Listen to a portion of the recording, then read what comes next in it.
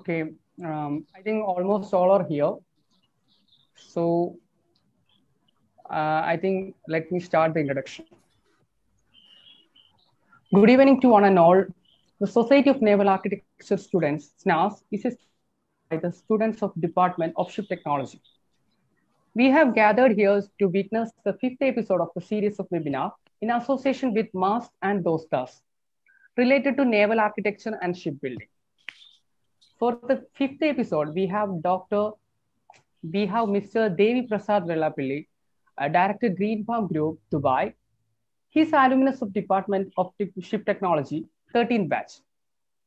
He served as a marine and structural consultant at Schlumberger, and he also served as a field engineer in SR Offshores and McDermott.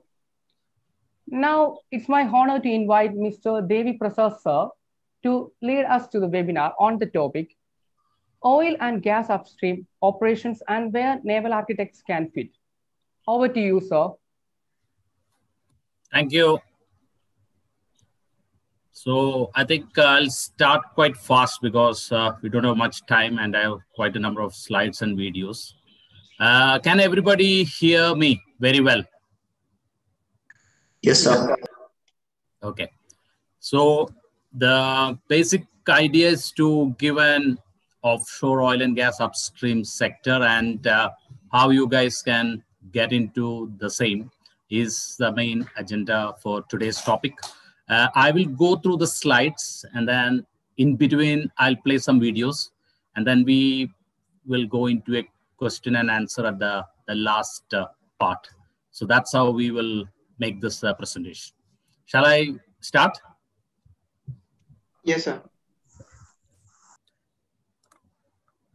So the, the agenda, as I mentioned, is uh, we'll give an objective, uh, an introduction to oil and gas, uh, what is upstream business, uh, some of the videos uh, which you guys can see, real videos, uh, which are the countries which are into oil and gas, where you guys can get an opportunity, companies of interest, how the learning can be done, because right now you are studying in universities where you may not see a lot of these things, uh, although you may have a knowledge, there is a gap. So how to fill that gap is very important for students to understand and uh, how to get there, software skills, and finally we will have a question and answer session.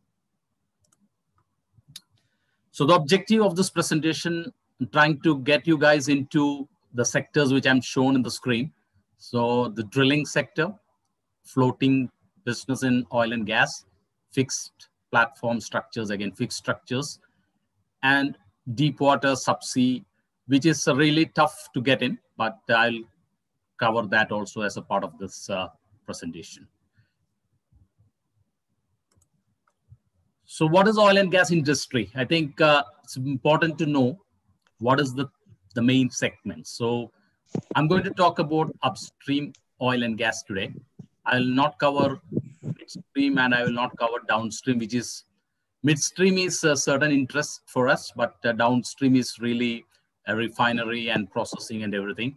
So upstream, basically it includes exploration to find the oil and gas, then basically do the field development part of it, drilling, production, operations. And there are a lot of services also which come with that actually. The midstream is basically how to transport it, uh, either through a pipeline or through a tanker system or through any, any methodology of transporting this uh, to the refineries or wherever the world requires final oil and gas. And the downstream is basically then you are going to distill all this crude into products, diesel, petrol, jet fuel, even plastics, whatever you use, everything comes out of the downstream, which is basically a refining process, uh, manufacturing, refining, and wholesale and marketing. And that's what basically you use it. So you are part of downstream already uh, today and uh, but we are going to cover the upstream oil and gas. So first thing what happens is a licensing round, how these fields are given actually. So as you know, the field belongs to the government. Any government in any country, even India is privatizing oil and gas today. Uh, they own the field. So they own basically whatever oil is inside the, the sea or the seabed. Uh, they basically doesn't have the expertise to take it out. So they go with a licensing route. So basically they offer a lot of data from the seismic activity. And then basically companies go and bid it and take long-term contracts, short-term contracts, whatever it is. There are a lot of contracting type where oil companies, uh, which I will again cover, which are the type of oil companies, they take this field and then they basically do exploration, production, and take all the services basically to sell those oil and gas to whoever is the end user. So I'll just cover a small uh, uh, slide on who are the players. Of course, there are a lot of players today. Yeah, so initially it was all big players like Exxon, Shell, Chevron, Total, BP, which is international oil companies. There are a lot of national oil companies, which is country-wise. So if you take India, it's ONGC and Oil India. I didn't write it, but you guys should know.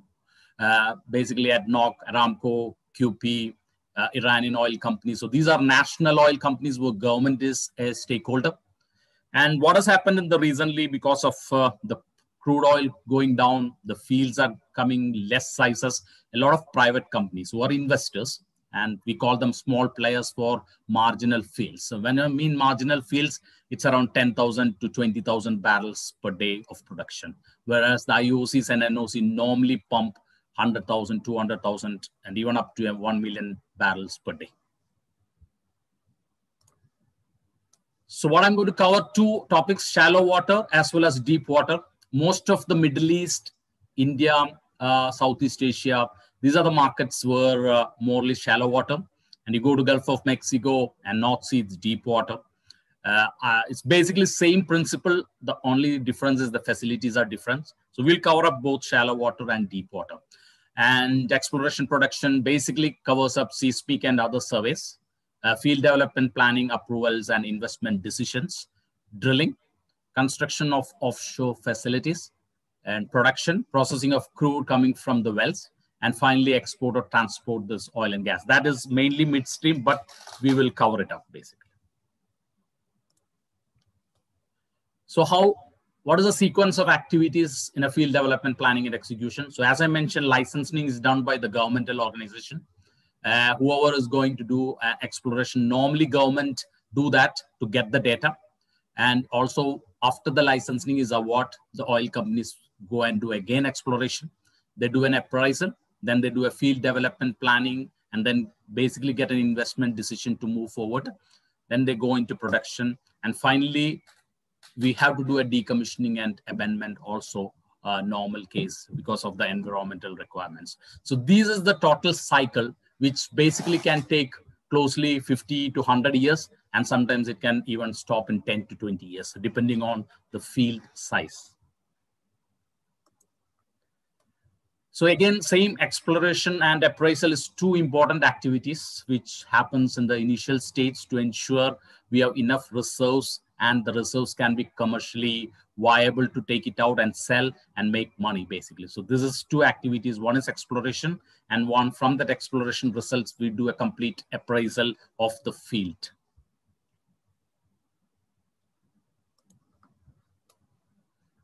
So what happens is the first step is a seismic survey, which basically does the exploration and finding out how much oil, how much gas, how much water in the field. And that data is basically converted into uh, how to basically make an appraisal or a field development planning to see the commercialization of the field.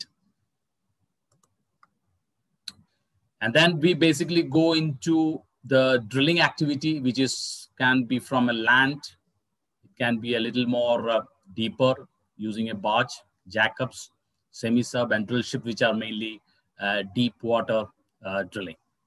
So what I'm going to do is I'll switch over to a video to show this the whole sequence to understand a little more than the presentation. Uh, so I'll try to share the video. Just let me know if the video is playing well.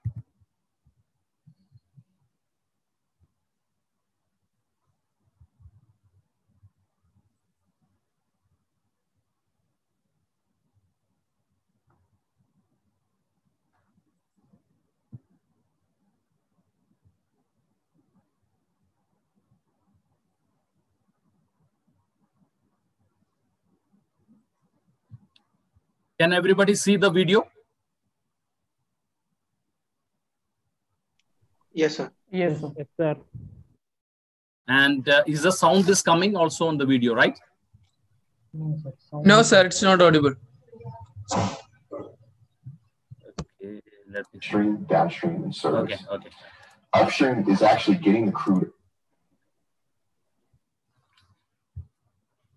So most people think of companies like ExxonMobil and just assume they get a lot of the ground somewhere in the world, ship that crude in ExxonMobil pipelines to an ExxonMobil refinery, sell it in an ExxonMobil gas station. But guess what?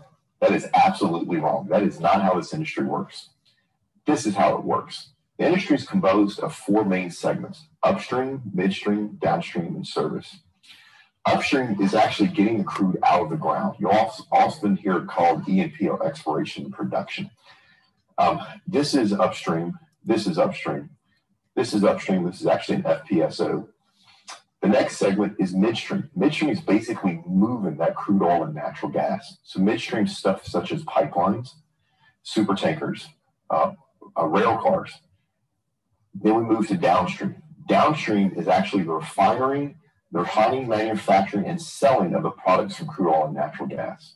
So downstream things such as refineries, uh, retail lube stations, uh, fertilizer, which is a big product of petrochemical refining, um, uh, lubricants, motor oils, uh, retail gas stations, and plastics, which is another large product of crude oil.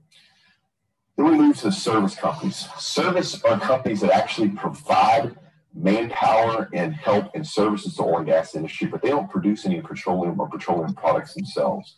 So you have everything from the guys that are out there designing the rigs to the crew boats that move men and equipment back and forth to the actual roughnecks that do the drilling to the manufacturing of drill stem and things like subsea um, installations. Every bit of this is service. So what does that mean? We're going to talk you through literally from cradle to grave, a drop of crude oil to the point, where it gets into the gas tank of your car. So the U.S. government auctions off a block of land to the highest bidder. After checking my last uh, auction facts in the Gulf of Mexico, uh, $2 billion um, somebody paid for rights to drill on a piece of land for 10 years. That's it. Think about that for a second. You write a check for $2 billion to have 10 years to make that money back and hopefully some profit, but there's no guarantees. So in this case, it was BP who spent that $2 million for a deep Gulf of Mexico lease. BP then needs to drill, right? BP does not have its own drill rigs. BP contracts a drill rig, basically rents it from companies such as Transocean. Now that drill rig needs to be staffed by people. So you have companies such as Halliburton and Baker Hughes that actually come out and help them operate that drill rig. That crew that gets um, um, produced on that drill rig needs to be transported. Guess what? BP puts out to open bid to all the different industries, and all the different midstream companies in the world who will move this crude oil at the best price. In this case, it was a super tanker, and the bid was won by Chevron. So Chevron has that crude oil in a super tanker, and it's in transport to refinery. But halfway there, ConocoPhillips on their trading floor buys that crude and then turns around and sells it for a few cents profit uh, per barrel. And it was sold to a Shell refinery, who then refines that fuel at a profit, ships it in a Kinder Morgan pipeline to a 76 gas station that's owned by who? No, not 76. It's owned by one of your neighbors, which is called a jobber. So there you go. There it is from literally getting out of the ground into being um, burning your gas tank as a fuel. And you look at how many different people are involved and how many different layers of profit are involved. And this is a very complex industry. So hopefully this helps you understand, um, at least at a high level, what goes on in the oil and gas industry. Oil and gas are generated from a source rock, organic matter buried in the depths of the earth. Once formed, they climb back towards the surface. On their way, cap rocks can impede their progress and they accumulate in reservoir rocks. Here they constitute hydrocarbon fields, which can be identified by interpreting seismic data, a sort of echography. The data is obtained with the help of a seismic ship.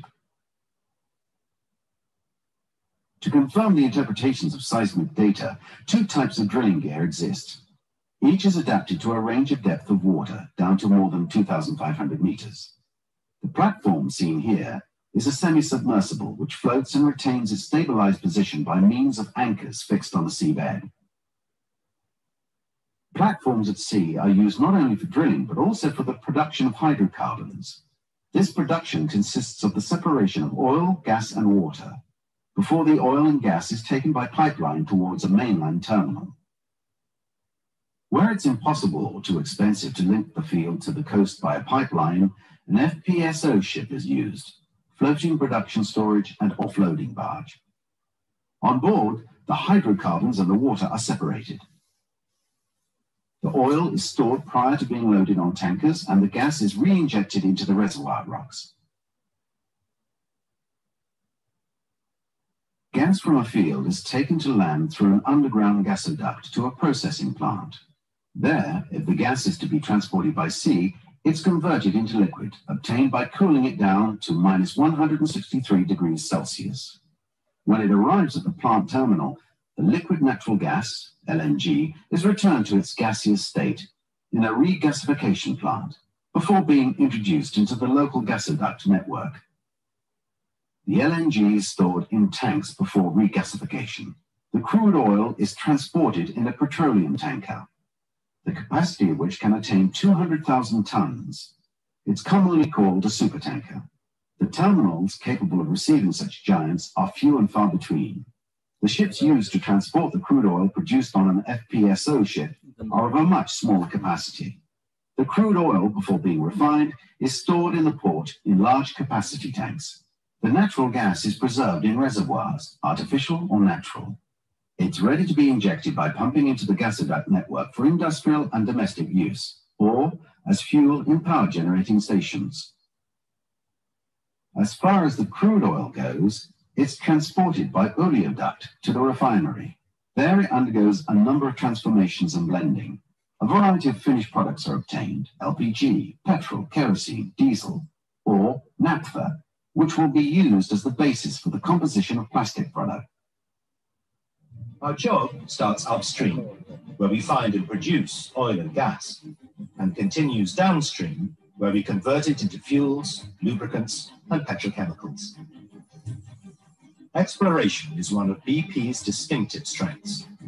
After negotiating and acquiring the rights to explore, we deploy our specialist skills and advanced technologies. BP specializes in seismic imaging to locate oil and gas fields, which can be miles beneath the Earth's surface or miles beneath the seabed.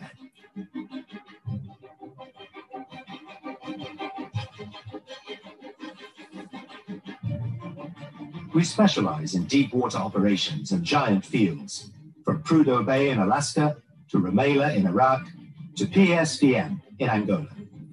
When it makes business sense for BP, we bring the oil and gas to the surface and either sell it to the market or supply it to our downstream operations. BP's upstream segment produces around 2.3 million barrels of oil and gas per day and has proved reserves equivalent to over 11 billion barrels in key locations around the world, including Angola, Azerbaijan, the UK North Sea, and the Gulf of Mexico in the United States. We manage several complex gas value chains, bringing gas to Asia, Europe, and other markets.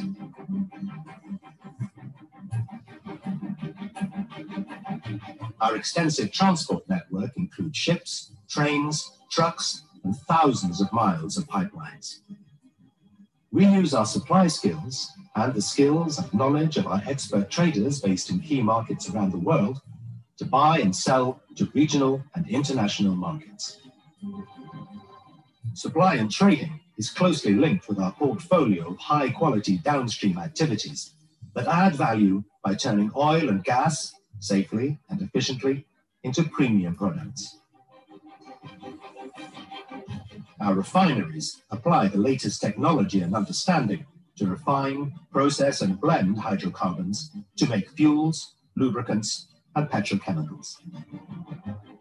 We then supply consumers and other end users with energy for heat and light, advanced lubricants to keep engines moving, and premium fuels for transportation. Our world-leading processes produce petrochemicals such as acetic acid, from which a wide variety of everyday items are made.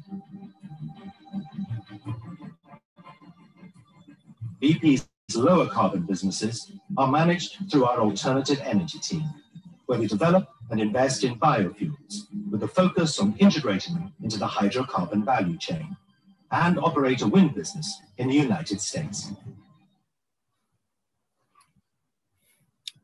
Okay, thank you. I think uh, that basically covers the initial introduction to the oil and gas.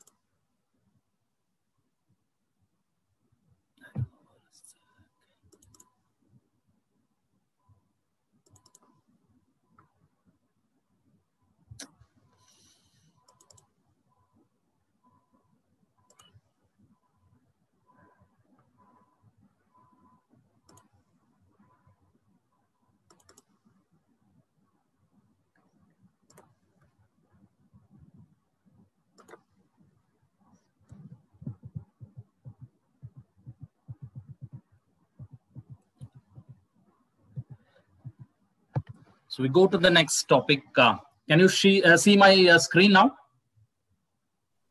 Yes, sir. Okay. Yes, sir. We go into now the second topic, which is uh, the drilling.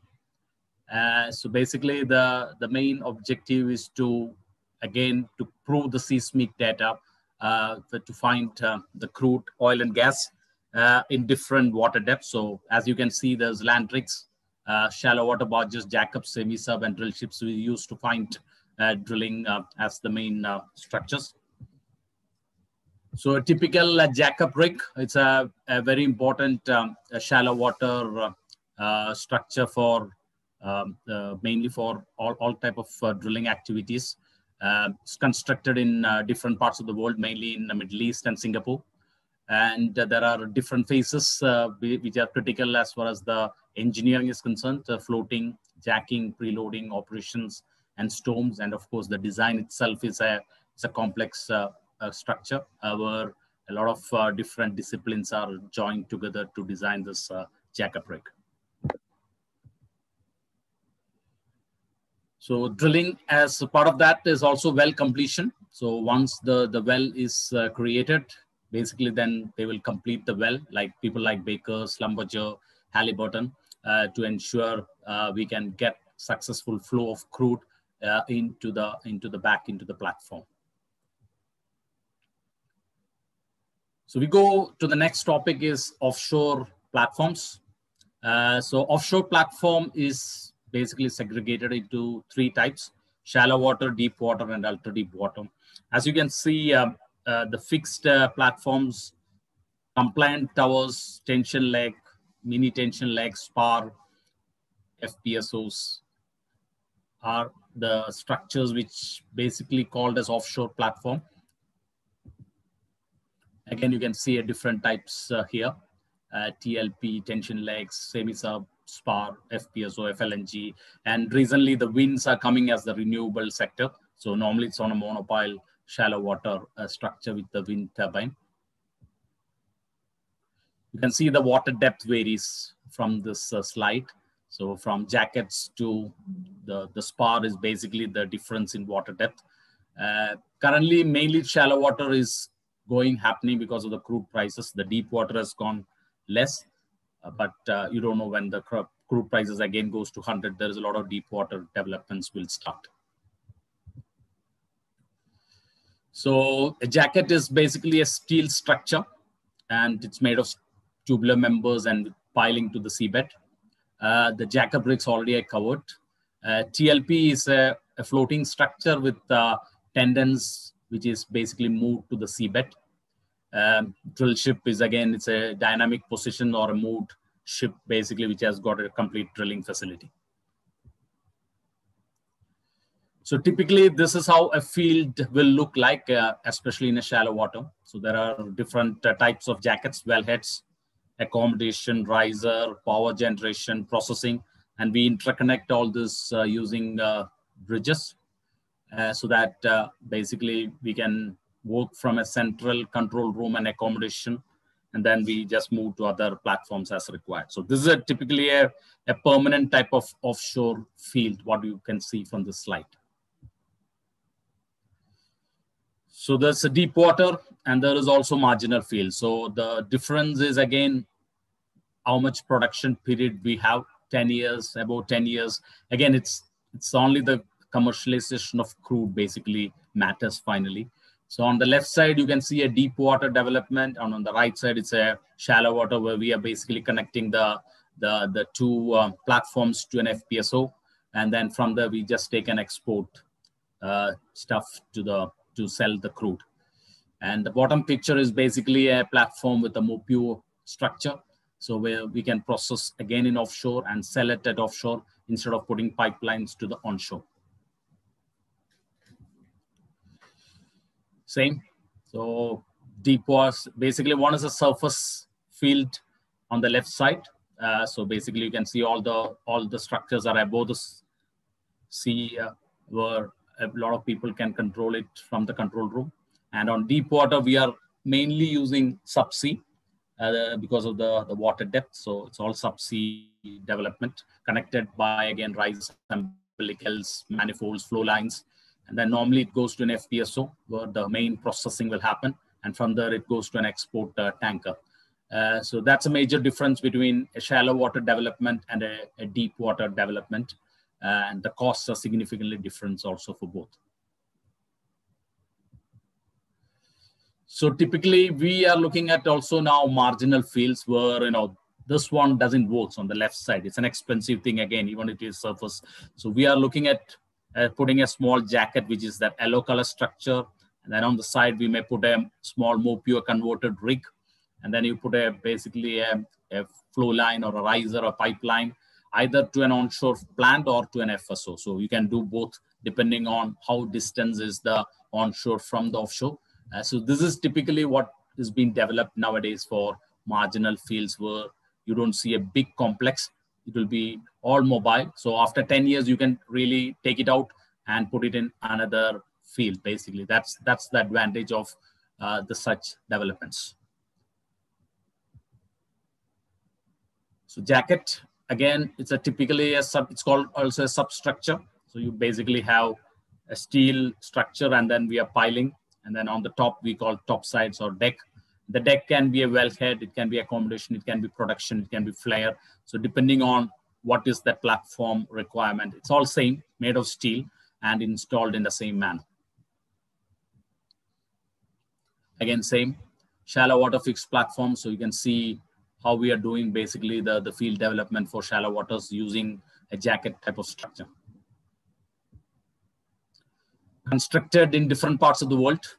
People like McDermott, L&T, NPCC, Sapura, a lot of companies are doing this. They basically fabricate land in onshore, transport on a barge, and then basically installed at sea in offshore. So you can see the slides, everything is there. So on the left top is uh, fabrication, then it's on loaded out, and then transported to offshore. So these are some of the simulations which we do, and it's very uh, interesting for naval architects to get into this kind of stuff, where basically you can do a lot of simulations before actual operation takes place. So launches, upending, lifting, float over, float off, piling. So all this requires a lot of engineering works uh, to be done, and that's where uh, basically you guys can get involved uh, with the softwares. Most of the softwares are uh, commercial softwares which we are using Moses, SACS, Orcaflex, OFFPIPE. So these are the softwares which we use to basically do the engineering. And this is done uh, very accurately to very important because it's expensive we make a mistake. So logistics and heavy lift vessels play a big role. Uh, the cost is quite high uh, because we have to transport all this offshore. So we use uh, heavy lift vessels or barges and tugs, heavy lift carriers, dry tow vessels, depending on today you know you make a lot of things in china korea and then you install in europe and us so this is a big cost and engineering this is a, um, an important task. Uh, how to make it uh, cost effective way of transporting to different parts of the world is a key part of uh, offshore construction. So that is why i put this slide logistics and heavy lift vessels the next part is uh, I, before I go, I think I will play another video to just show this uh, the whole sequence of jacket construction. Uh, I'll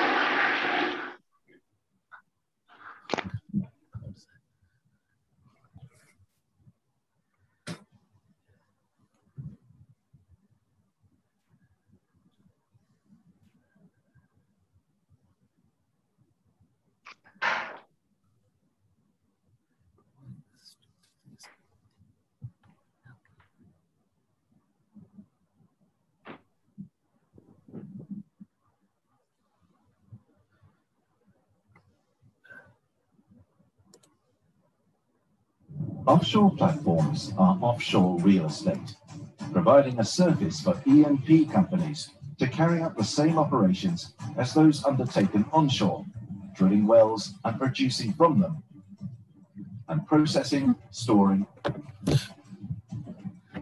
and exporting oil and gas. Using similar equipment, processes, and techniques to those deployed onshore. So is that a video?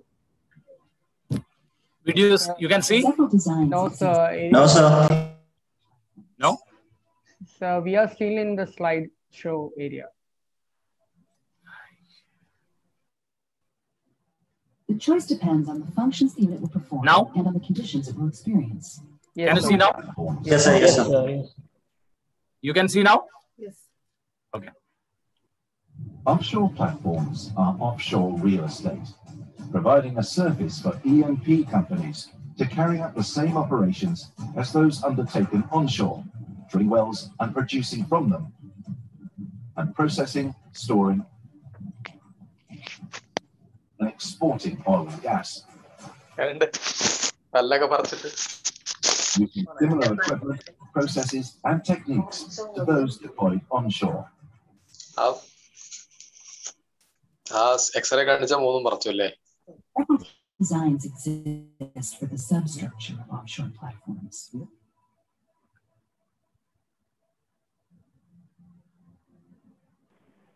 The choice depends on the functions the unit will perform and on the conditions it will experience.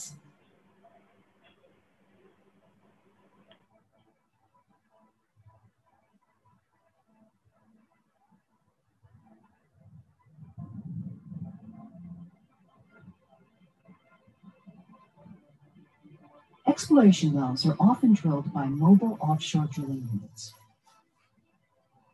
or MODUs, a generic term for various types of floating or floatable drilling machines. In very shallow waters or in lakes and rivers, drilling can be performed from a flat bottom barge or from a submersible. Buoyancy tanks are flooded with water until the unit rests on the seafloor. After drilling, the water is pumped out and the vessel can be refloated and towed to a new location.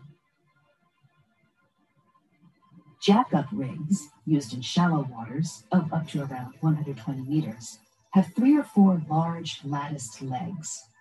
The rig is towed to the site with its legs up. The legs are then lowered to the seafloor, and the top sides are jacked up so that they rest above the water. When drilling is finished, the legs are raised and the platform can be towed to the next site. Semi-submersible platforms are suitable for drilling in a wide range of depths, from shallow to deep. Ballast tanks in the hull are filled with water until the unit is partially submerged, which reduces loading from wind and waves. The platform is then anchored to the seabed.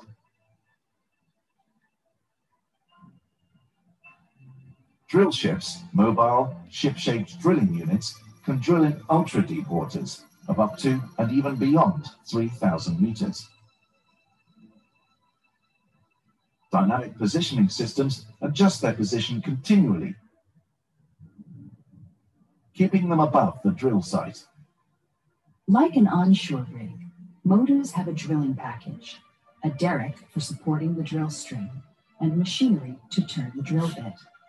If they find oil, the well is usually sealed with plugs until a more permanent structure can be moved to site for the production phase and for further drilling. These include fixed platforms, tension leg platforms, semi submersible production units, spars, and floating production storage and offloading vessels, or FPSOs.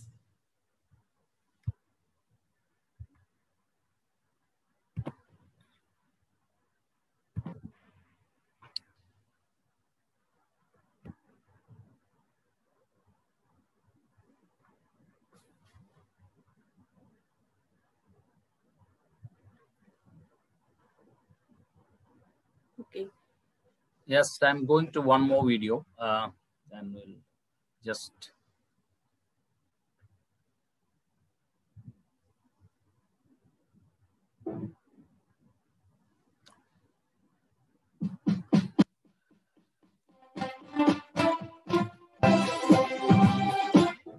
Can you see the screen, uh, the video? Yes, sir. Yes, sir. Okay.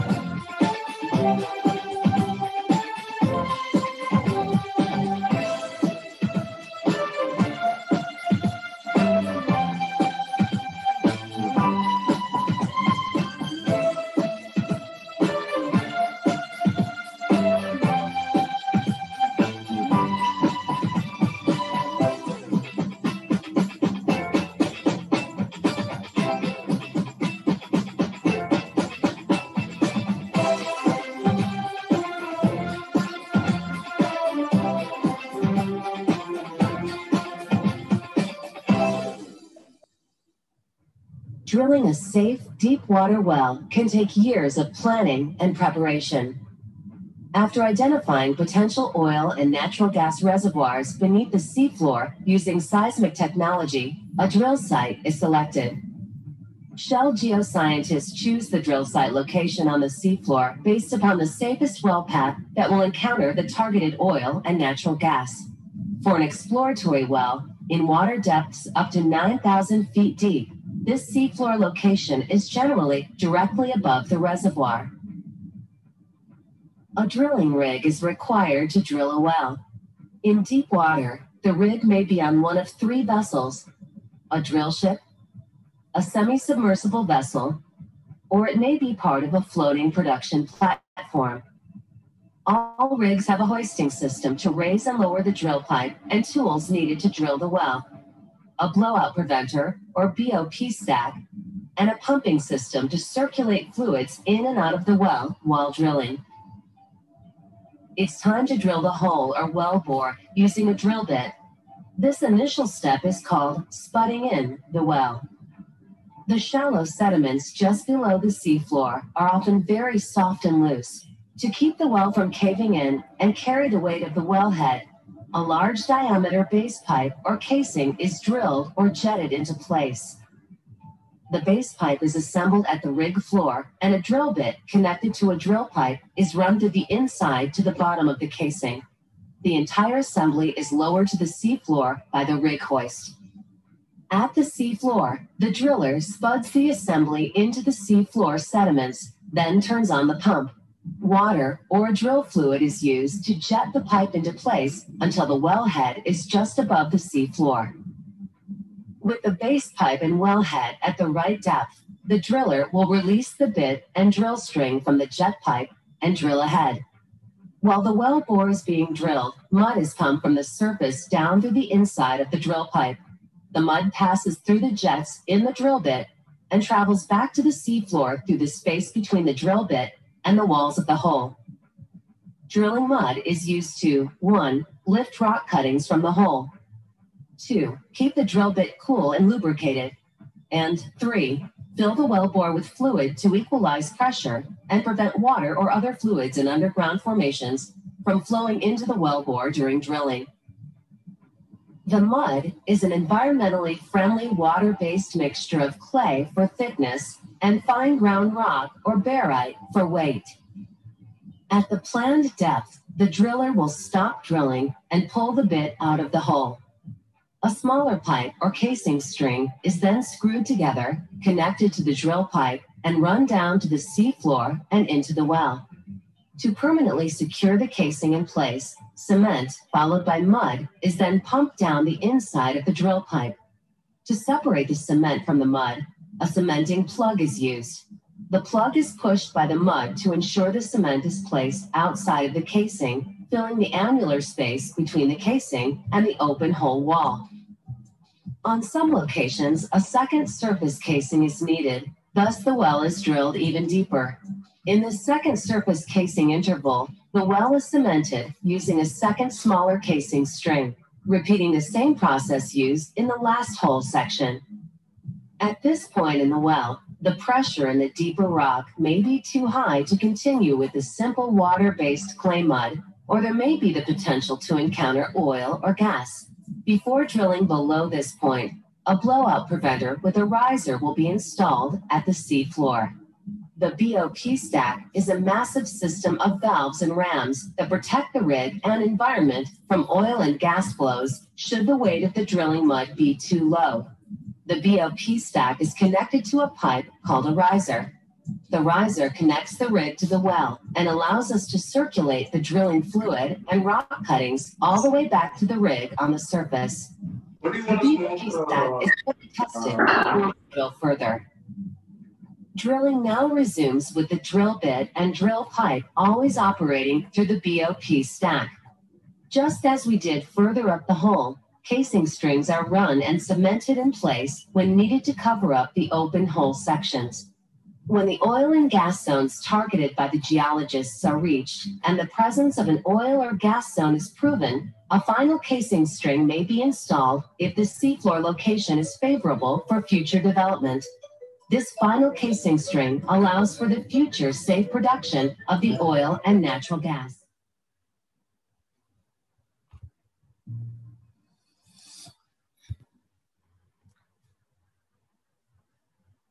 So that's basically on the, the drilling side. Uh, we go to a platform construction uh, video.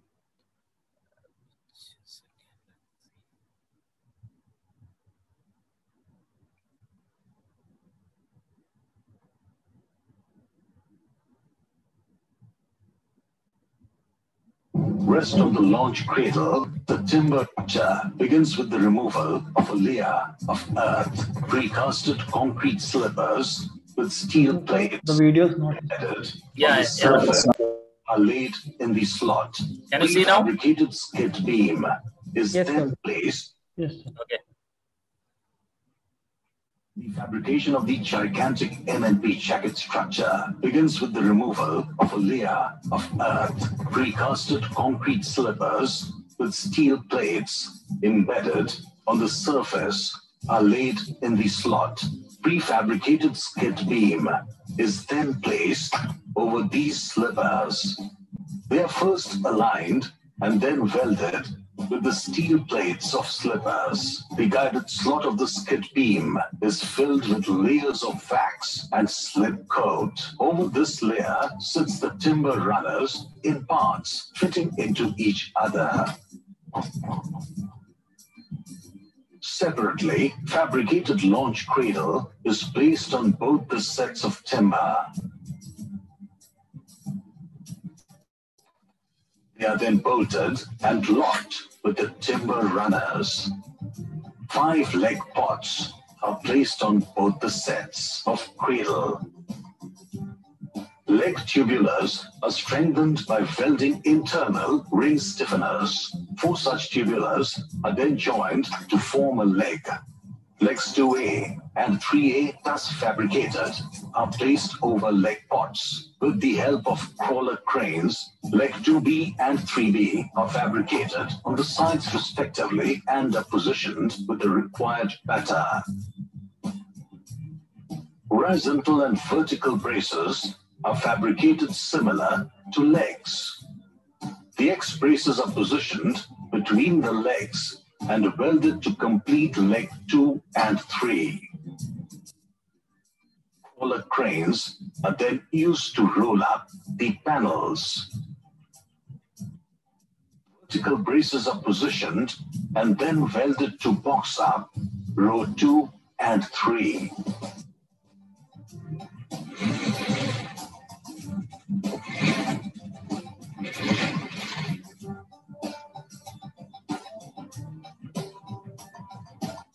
After the boxing up of panel 2 and 3, the set is jacked down and the legs 2A and 3A rest on the launch cradle and the leg pots are removed. Row 1 and 4 are fabricated in a similar manner and carried to the respective positions and placed over temporary leg pots. They are then rolled up and boxed up with row 2 and 3 respectively. 23 riser pipes are then placed and fixed in the clamps, five each at the bottom between row 1A, 2A, and 3A, 4A, six and seven each between 1B, 2B, and 3B, 4B, respectively. The sump caisson, fire water caisson, and utility water caissons are placed similarly at their respective positions. Grout lines are installed to the skirt legs. Yoke plates are fabricated. Then the mud mat is erected. Prefabricated buoyancy tanks are placed on the temporary leg pods on the sides of leg set 1 and 4. They are rolled up and fixed with the jacket structure. Flooding lines are connected to the buoyancy tanks and jacket from the flooding manifold. The upending slings and shackles are then placed in the upending eyes. All the final paintings are then completed. The gigantic jacket is now ready for load out. The loadout process begins with extending the grillage and the skid beam to the quay wall. The 180 meters long S-45 barge approaches from stern towards the quay wall. Fixed by the anchors and mooring lines, the rocker arms are brought in line with the skid beam by ballasting and deballasting of water. Four-strand jack piston assemblies are fixed near the mud mat on the jacket. The strand wires coming from the piston assembly are fixed on dead man anchor frames on the barge. Two push jacks, one for each launch cradle, provides the initial breakup push. The piston moves ahead and holds the strand. The jack moves towards the piston, carrying the jacket. The ballasting and deballasting of water from the barge maintain the 25 millimeter tolerance. The high precision synchronized movements make the jacket crawl into the barge in tiny steps. Welding plates are fixed to weld the launch cradle with the skid beam of the barge. 28 sea fasteners, seven on each side of leg 2A and 3A, are welded to fasten the jacket on the barge. The barge is stowed away by a tugboat. Four smaller tugboats move along with the barge to assist it during maneuvering.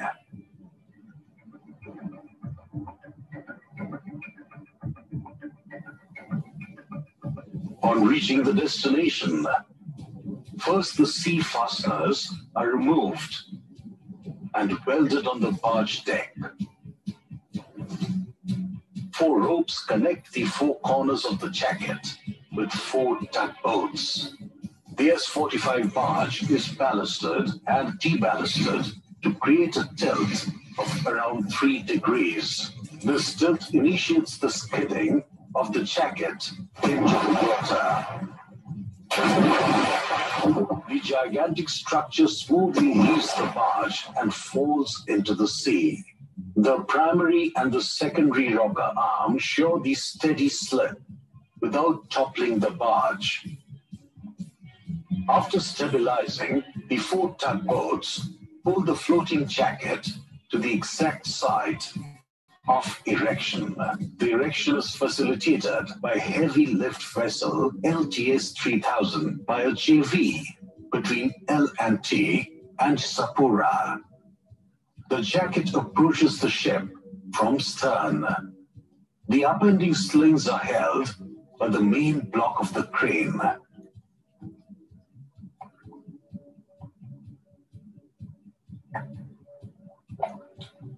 The GPS, gyro box, and the 4 LBL are placed in their respective positions, which will now help in final positioning of the jacket The flooding lines are connected to the flooding manifold through the pumps installed on main deck of the ship, and water starts pouring into the legs and the buoyancy tanks. The jacket starts upending.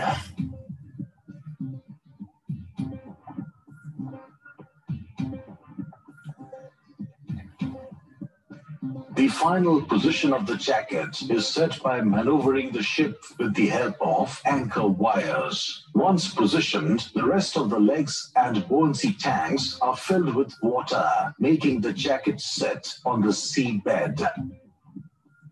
A cargo barge carrying the piles is brought. The internal lifting tool lifts the pile from the top end and inserts into the corner pile guide.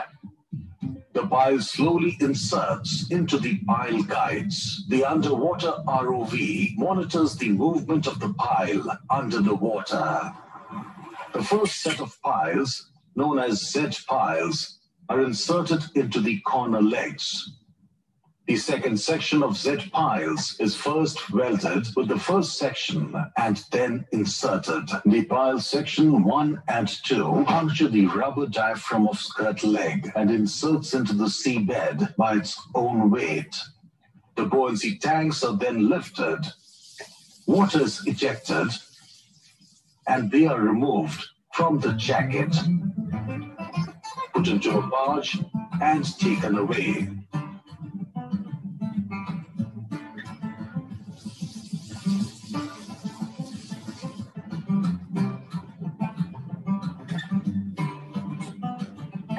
The rest of the insertion is done through hammering, as per the sequence decided by the installation contractor.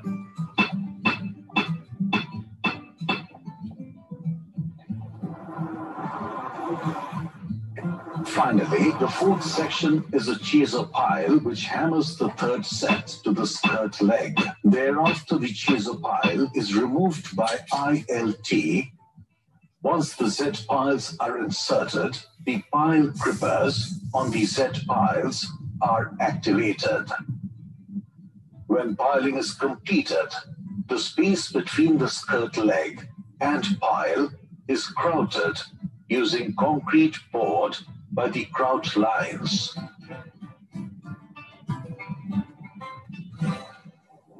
The boat landing and barge bumpers are installed at the end. This completes the installation of the MNP jacket.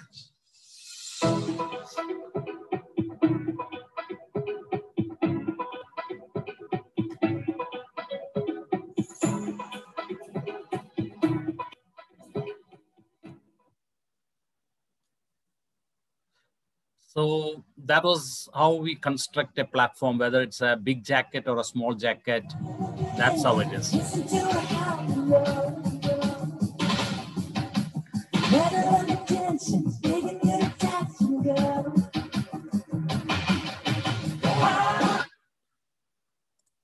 Can you see my screen now? Hello? Um, Is it possible to see? No? no, sir. The screen, uh, the presenter Okay. screen is not visible, sir. Okay, one second, one second. Yeah. So I basically, yeah. So the next video is uh, basically we did the simulation of that particular jacket uh, while launch in Moses. So I'll just show uh, quickly at that one. Can you see it now? Yes, sir. Yes. Okay. So that's what's done in uh, Moses. And you can see basically the actual versus how the Moses simulated it.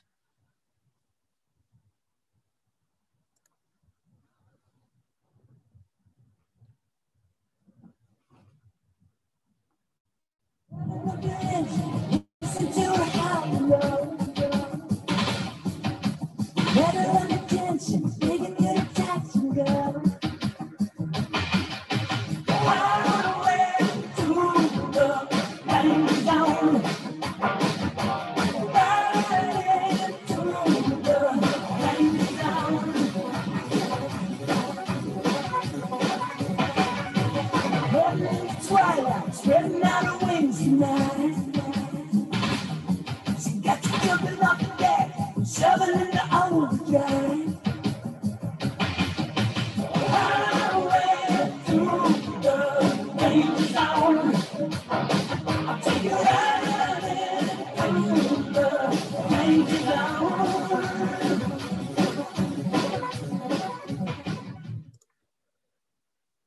So basically, we had the privilege of doing that simulation for Sapura and L&T, and uh, it was almost accurate what Moses did compared. You can see that video was real, uh, and it in real time we could uh, simulate it uh, a 13,000 ton jacket in uh, Moses. I'll go back to uh, the, the the PowerPoint now. I hope you might have already seen now the the platform construction, the loadout, the transport, the install, the launch, which will give a approximate idea how we are installing offshore structures in sea.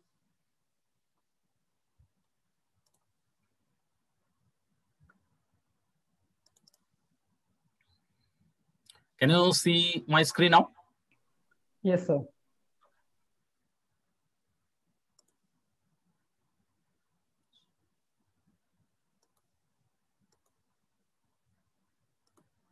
So this, all this was shown in the video. You can see the, the fabrication, transportation, the towing, and then we showed the, the, the Moses simulation of the launch.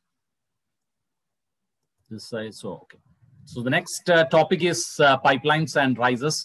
So as you know now, after the structure is installed, drilled and ready, and now we need to basically transfer the, the crude or oil and gas both uh, via risers and uh, pipelines either to an onshore refinery or to an FPSO or an FSO.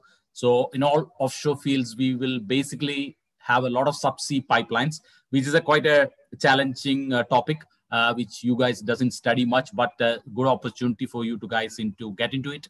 Uh, in every offshore field, we come with pipelines and risers. Uh, so how we install it, uh, normally we in shallow water, it's called S-lay and in deep water, it's called J-lay. And there are other techniques which are not normally used, but uh, where we could not do S-lays, we do a lot of towing method or uh, depends on floating methodology. The new technology coming is the reel. A uh, lot of pipelines can be reeled and then we don't need this heavy lift vessels. We can do with a, a diving support vessel on reels. Uh, people are coming with a, a different uh, uh, type of thing to reduce the cost again for the the pipelines. Uh, but the normal technique is a pipe lay barge uh, basically doing in an S-lay using a stinger and a tensioner basically. So it's welding laying continue and pipelines on seabed. So this is the sequence normally followed and after that, you will basically end this pipeline in a pipeline and manifold where the oil is again passed through two floating hoses, as you can see, uh, to a buoy and then to a shuttle tanker. This is one methodology of export, storage, and offloading, which is SBM, uh, single buoy mooring. Uh, or you could lay this pipeline all the way to the onshore refineries uh, and uh, take it from there.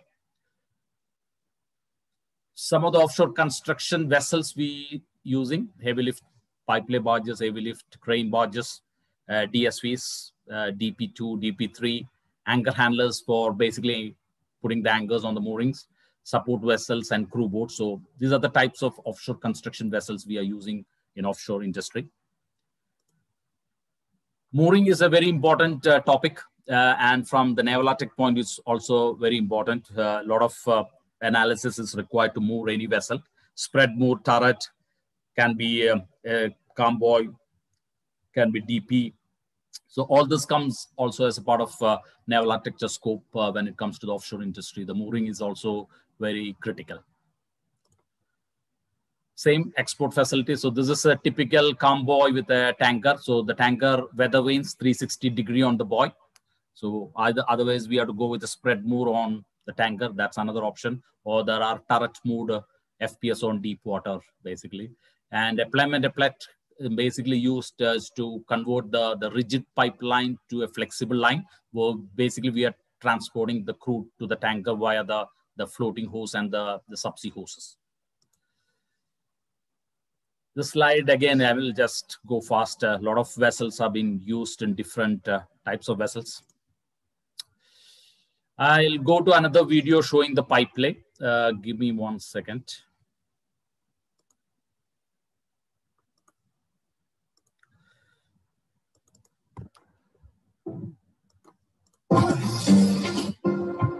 Is proven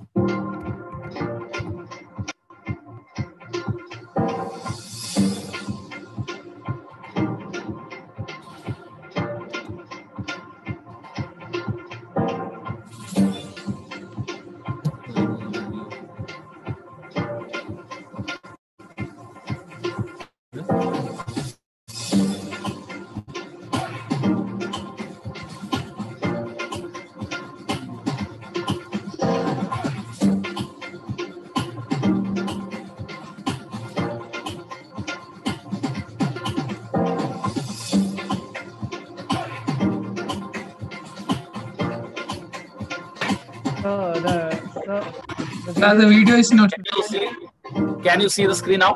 yes, sir. Okay,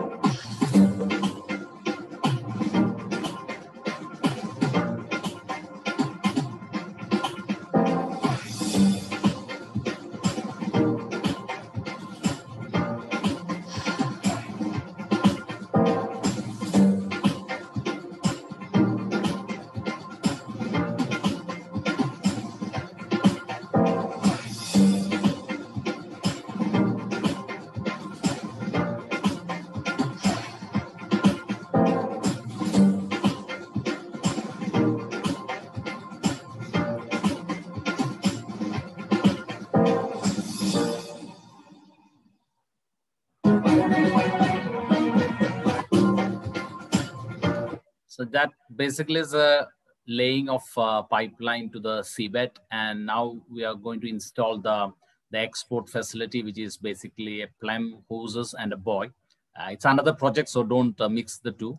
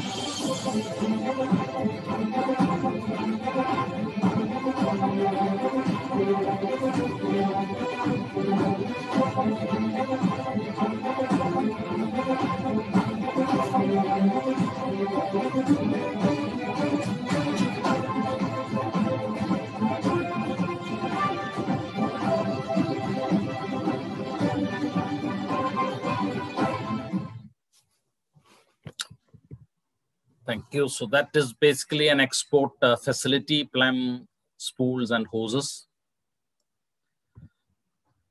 Go back to the presentation.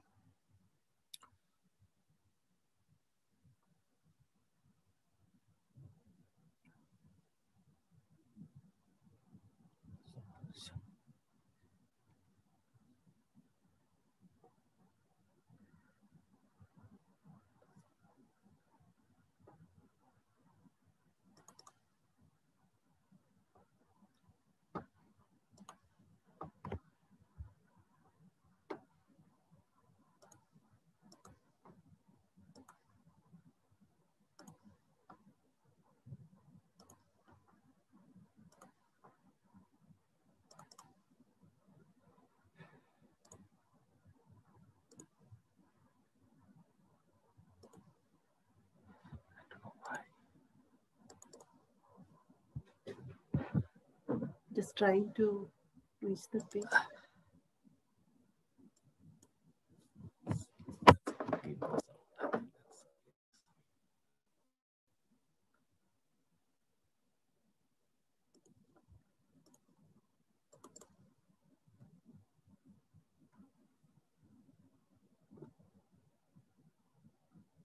Can you see the screen?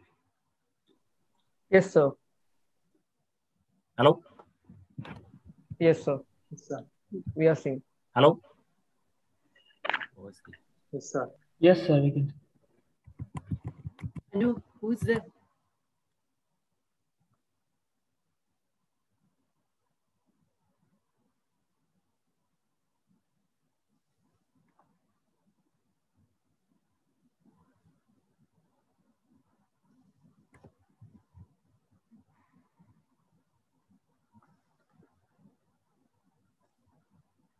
Can you see the screen? Yes, sir. Visible, sir.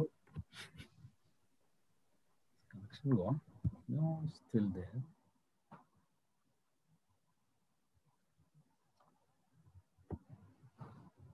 Let me call myself number.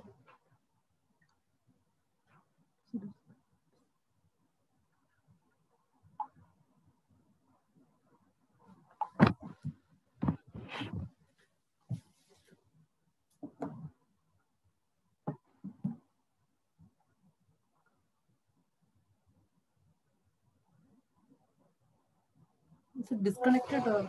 Yeah, Hey, we can- but nobody's talking. I cannot hear you. Is anyone talking? Hello? Yes, it's Can visible. Yes, sir, we can hear you.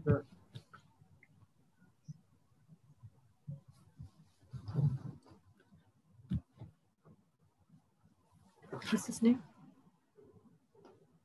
He's from India. Okay, I'll continue. I think you can hear, right? Because I didn't hear anybody from your side. Yeah, we can hear you. If David is asking you whether you can hear us.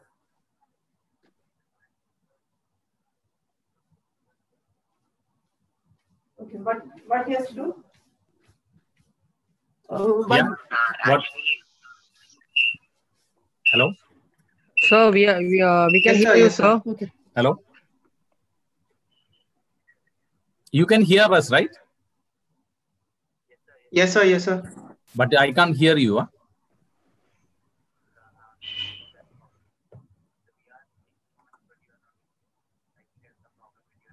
You're mute. You're on mute. No, no. One second. Okay. Let me just check. Okay. Um, you are in department now? It's on.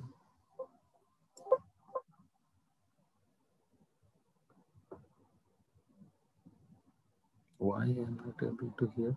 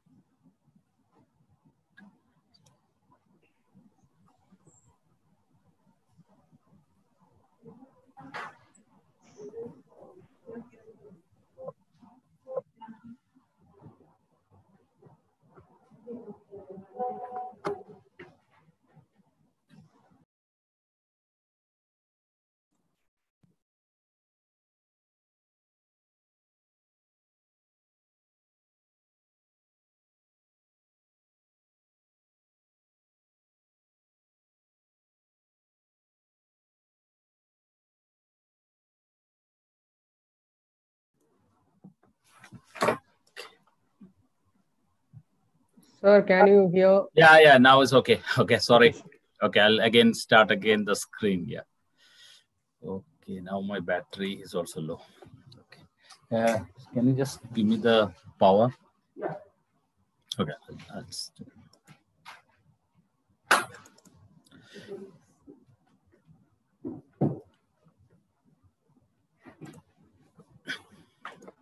you can see my screen?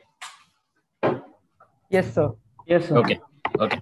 So basically now we go into the services which play also a key part in the success of any offshore project. So it could be well services, completion of wells, surveys, welding, NDT, pigging and hydro testing, piling, trenching and burial. And also I, I missed out diving. So we do a lot of diving as you can see from the, the video.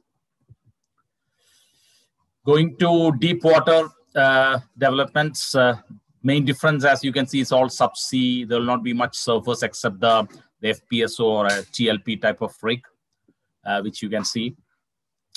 So basically subsea is all about on the seabed on deep water. Uh, more, more than 3,000 feet, uh, we are going uh, on the subsea developments. everything is small, modular, and very high, high level people like Cameron, G, they are playing this, all the segments. So there'll be a lot of uh, subsea wells, and then again uh, booster stations, production manifolds, risers connecting to the, the FPSO. That will be the final level of connection to the to the surface. And we normally have a turret moored FPSO for the export uh, facility and with a shuttle tanker, which basically takes the crude away.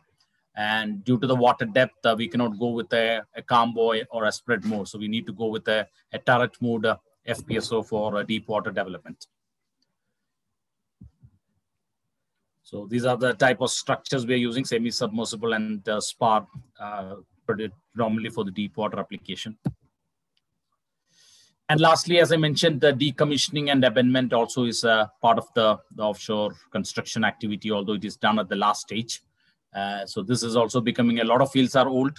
And so this has become another opportunity for people to get involved into the decommissioning and abandonment. Basically, it's removing, closing the well and removal of the structures from the sea. And to be and uh, fair now, uh, the whole world is moving in the renewable energy sector because of the, the emission. Everybody wants to stop the CO2. So there'll be a lot of uh, opting coming on the renewable energy sector also, which is not really oil and gas. It's a different sector, but the type of structures, the type of operations, what I showed is applicable again in this uh, renewable energy part also.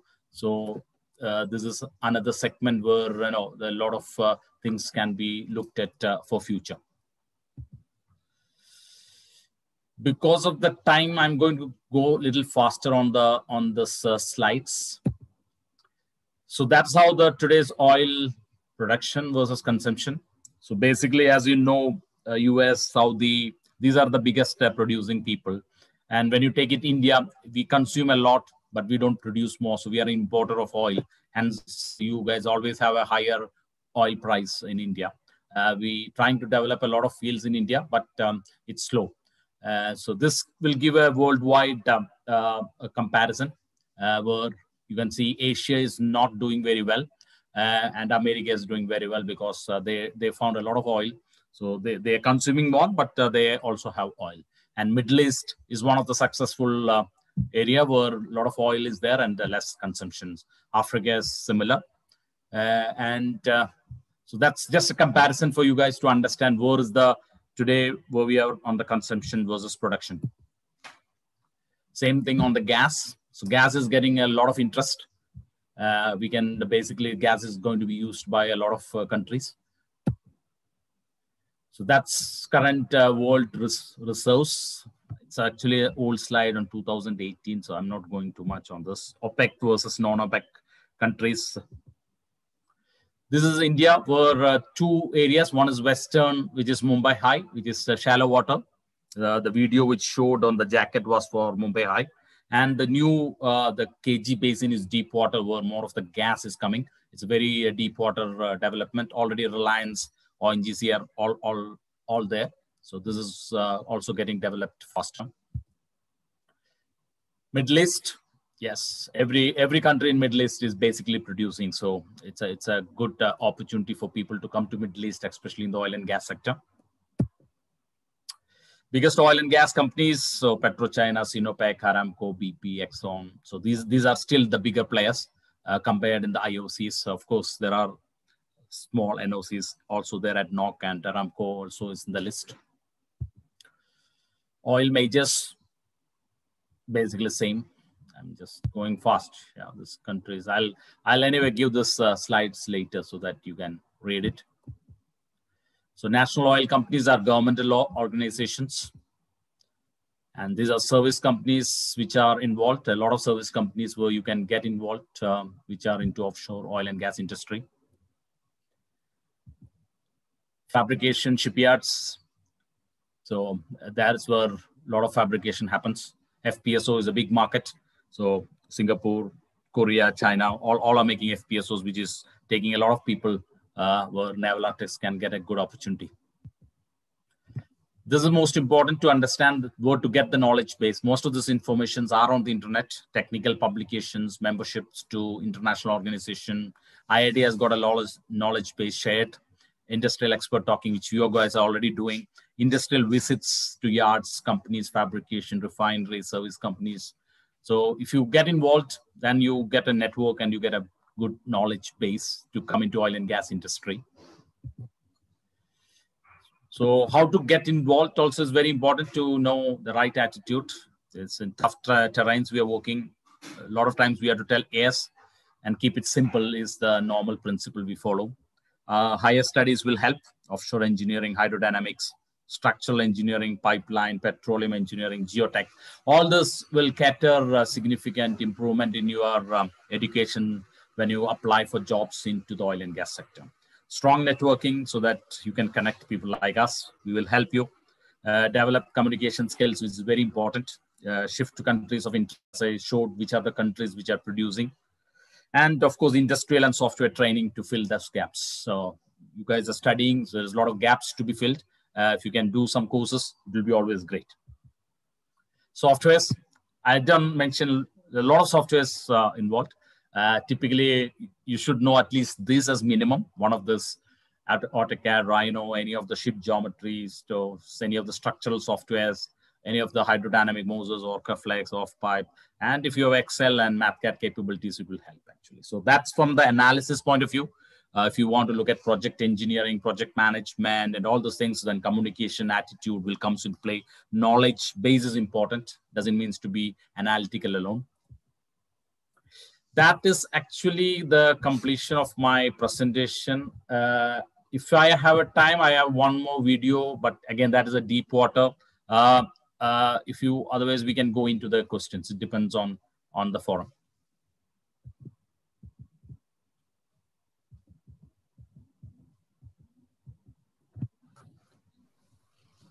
So you can proceed, sir. I can put, okay. So I'll just show last, I think there's one more video, which I'll then can just.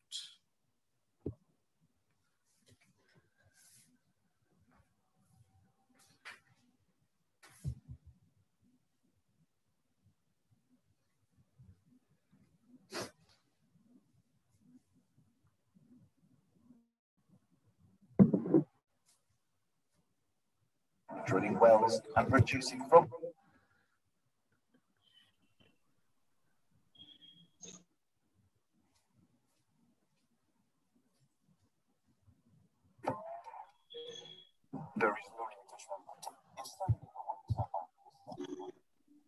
Hello, can you hear me? Dev yeah, I'm just trying to find that video. Also, didn't miss it. That was uh, oh, video. One more video. Yeah, one more video, and then we can close. Actually, there was. Uh, okay. I think uh, I'll I'll not go with that. Uh, it's not required actually, so we can uh, we can do something different. I think I'll go on something on the mooring. Uh, let me see.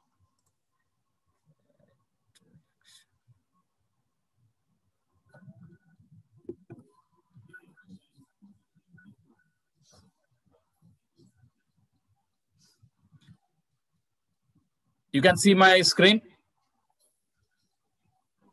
Yes, sir. Okay.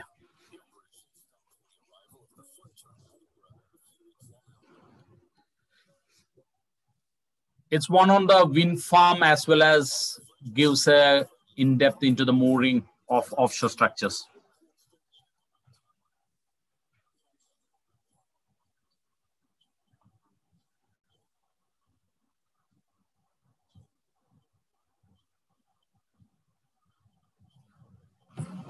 something.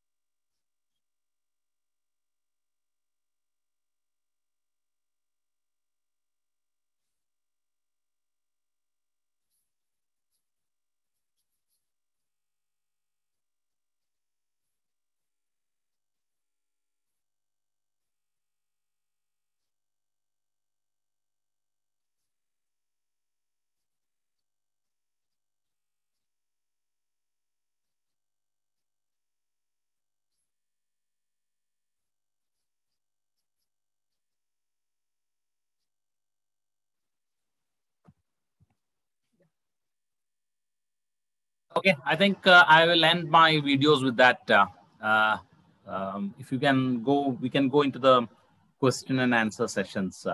Okay, sir. Okay. Uh, sir, okay. Uh, this comes to end of this wonderful session and it was very informative and the videos made it more interesting also. Now I request everyone to look at the chat box and please fill up the feedbacks provided there. For the time being, I would like to start the Q&A session now, interested people can turn on their mic and ask. If anyone couldn't ask directly, can also ask a Q&A section in the box and uh, also in the YouTube comment section. I will read out, okay?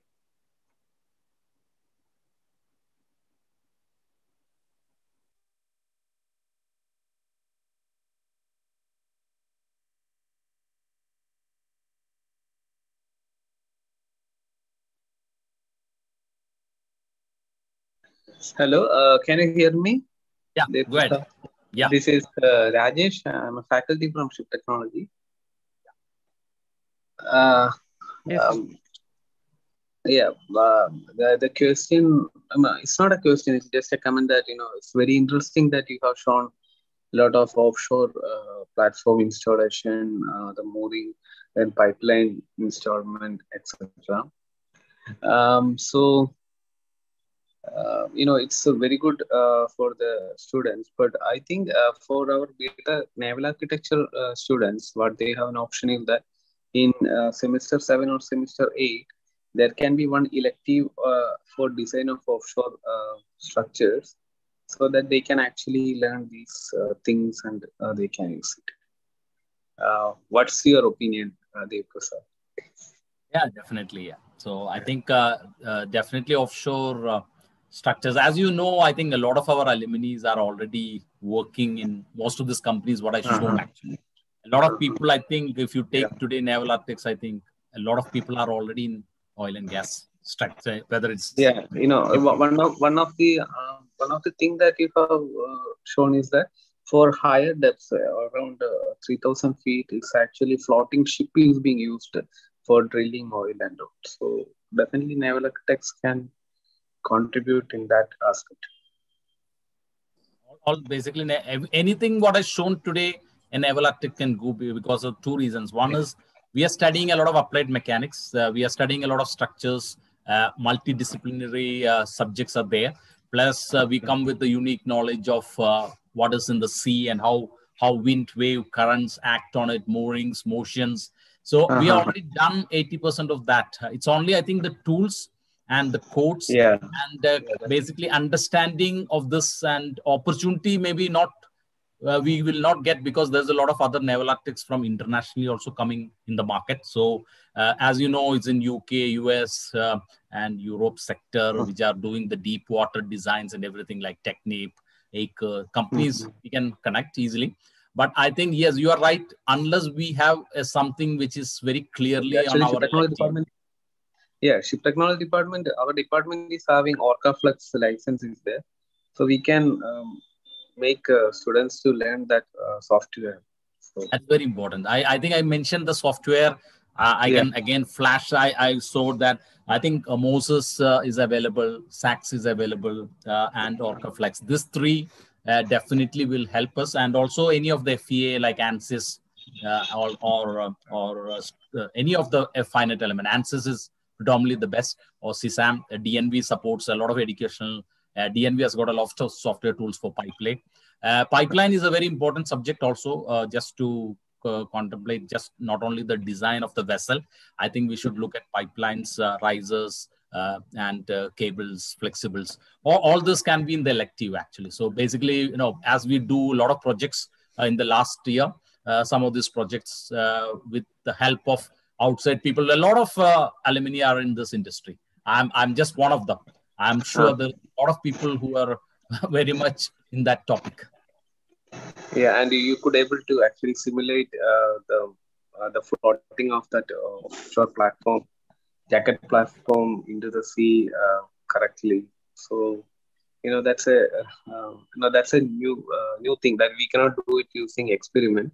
So only option is numerical method. So you could able to do it using the software that's a good. So Moses is used very much in worldwide now. Uh, it's it's a product which uh, I, we we developed uh, a lot of this market for Moses, and we are very strong in Moses actually. Uh, we can do a lot of simulation. That was just a simple simulation on the launch, but uh, there's a multiple body mooring analysis, semi-sub mooring. You can do anything in Moses. Anything can be simulated actually. So yes, it is not easy to uh, understand the software, but if you train people, uh, I think they can get involved into a lot of uh, a lot of uh, simulations. Yeah. In the future, we will purchase that software. Moses also will purchase in our ship technology department. Uh, now OrcaFlex is there. Uh, then Abaqus is there. Abaqus is good, like ANSYS. Abaqus is very good, and I'm sure DNV also supports educational institutions. So DNV Sesam is very good tool.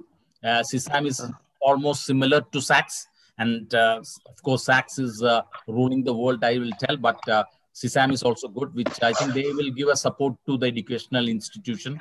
And I'm sure uh, DNV supports uh, uh, definitely if you request.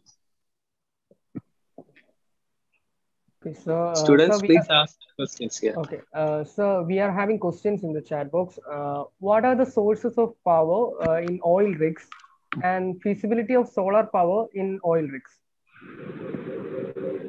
Uh, today the power is uh, diesel uh, diesel engines okay? We are not really moved into solar today. Uh, it's we are still old uh, version of uh, i think the guys.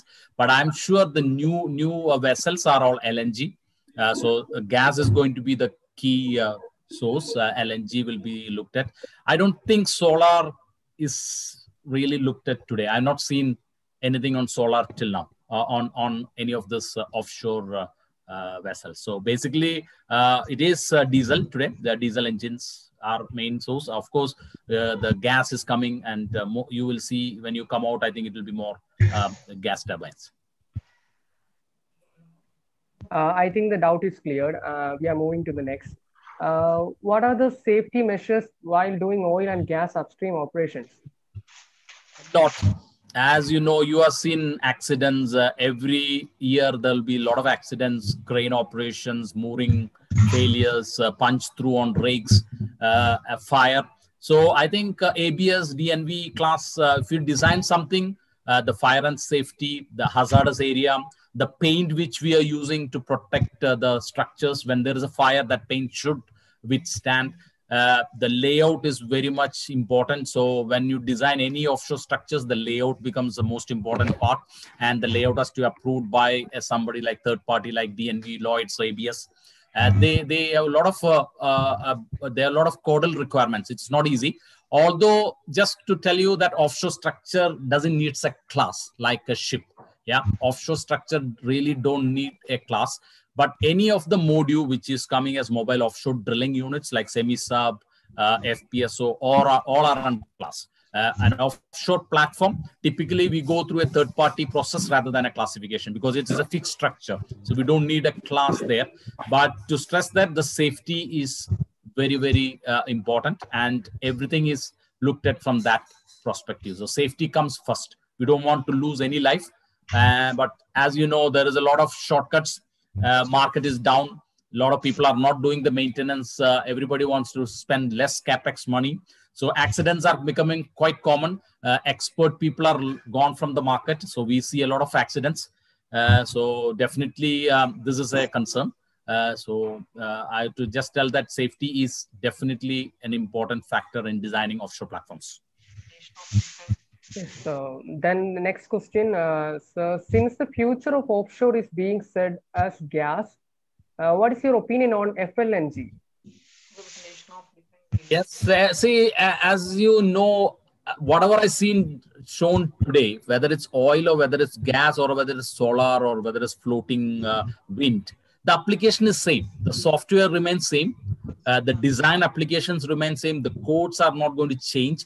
So whether it's LNG, whether it's uh, floating LNG, whether it's uh, FSRU, whether it's FPSO, whether it's uh, wind, uh, you guys don't have to worry as long as you know the principles behind the design, the codes behind the design, the softwares behind the design. So that is going to be the predominantly important factor actually. So you don't have to really worry uh, what is coming in the future. As long as you are into this, um, into the scheme of understanding the whole uh, oil and gas, you can apply to gas or to uh, renewables. Okay, next question. Uh, sir, how to estimate the amount of oil and gas reserves before drilling? Uh, it's a very uh, good question. Um, there's a lot of software Schlumberger and Halliburton has designed. Uh, so basically, we use uh, softwares uh, from the seismic survey data, and uh, that software is basically has got the tools to basically do the reservoir calculation. But end of the day, you still need to do the drilling to test the well, the pressure, the flow, still drilling is mandatory for confirming the FID, which is the, the financial investment decision, which is called FID, needs a drilling. And that is where problems normally for private investors are facing because drilling is an expensive uh, game where uh, seismic plus uh, doing an estimate is very easy, but that will not suffice an FID. So an FID requires at least drill one well to confirm the, the flow is there as per the studies. I think the doubt is clear. Uh, so I'm moving to the next question. Uh, so the, what are the key knowledges required for a naval architect to excel in this field? I think I already put that slide. I can again flash it so that uh, you can just uh, see. I think I put it very clearly what is uh, required. Uh, you can see my screen, right? Yes, yes, sir. Yes, sir. Go on. Okay, so I think I put it very clearly here. Uh, this is what is required. There's no other requirement. So develop the right attitude, very important. I am mentioning fire studies because of our technical nature. And uh, if you can understand this by courses, you don't need to go. I'm basically a naval architect. I don't have any other qualification today. So I'm succeeded in the business. So as long as you can apply and you can work hard, you really don't need to go for higher studies, but that will help. uh, two things. One, it will gives to a network of outside world, and second, it gives a lot of skill set, a qualification when it comes to the interview. Uh, strong networking to connect to the people. Do a lot of industrial uh, talkings. LinkedIn is a good tool. Use it. Uh, develop communication skills. You need to talk. You need to work as a team. You cannot do it alone because it's a huge project normally. Uh, shift to countries of interest. If you stay at Kerala, I am sorry, I don't think you will succeed. Uh, and uh, the thing is industrial and software training. So this is what is required.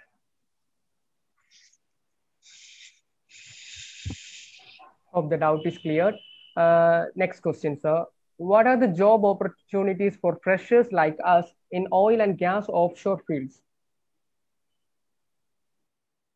So that's again a good question. So I think you should try in service companies. You should try in fabrication shipyards. You should try consultancies uh, also like us. Uh, you can try always. We take a lot of uh, newcomers, uh, train them, and then of course they are grown and they go to people. You cannot go directly into drilling companies. You cannot directly go into oil companies. It's very difficult.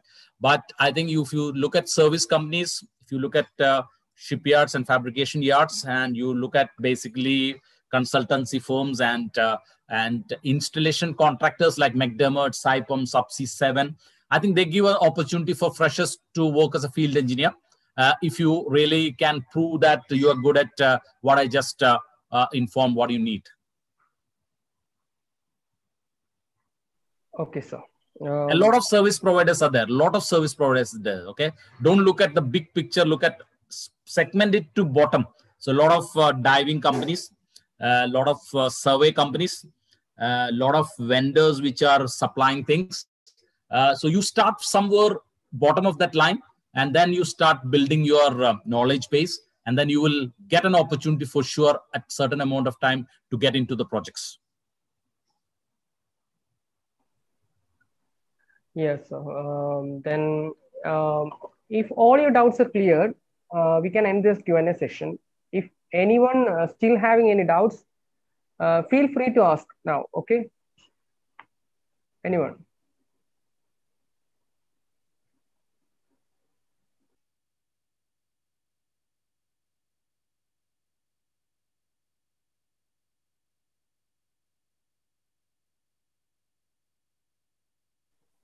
Okay. Um, I think uh, this makes the end of the session, uh, Q&A session. Okay, uh, from our side, we are presenting a token of gratitude to Mr. Devi Prasad. The token of gratitude will be presented in the screen right now. Yeah. Thank you. Thank you. Thank you. Thanks for the thanks for the audience and thanks for your time. Thank you. Um,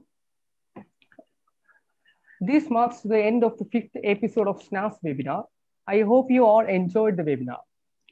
On behalf of SNAS, I would like to express my sincere gratitude to Mr. Devi Prasad sir for taking time from his valuable schedule and making this a very informative webinar. I'm deeply thankful to MAST and all the office bears for helping us to conduct this informative webinar. My sincere gratitude to all the members of Dostas from all over the world for the exceptional commitment to the department. And on this occasion, I would like to thank Professor Dr. A. Madhyaragan sir, HOD of Department of Ship Technology, for being a constant inspiration for us. Thank you, sir. Uh, I would like to thank Anup sir, SNAS faculty advisor, for being with us in all activities conducted by SNAS. Last but not least, I would like to thank every faculties and the students who put their sincere effort to attend this webinar and making it a grand success. Finally, your feedbacks are very important to us and always feel free to contact us for the feedbacks. Now, this marks the end of this episode and more webinar episodes are on the way. By this, I declare that the meeting is concluded. I request everyone to leave the meeting Thank you, sir.